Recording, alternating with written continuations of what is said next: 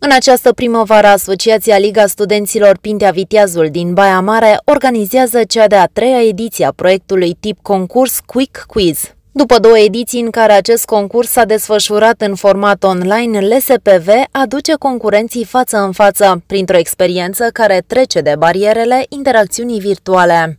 Quick Quiz este un proiect deschis tuturor studenților din cadrul Centrului Universitar Nord din Baia Mare. Această competiție se va desfășura sub forma unui turneu și va consta în mai multe întrebări de cultură generală din diverse domenii de interes, cu un singur răspuns corect.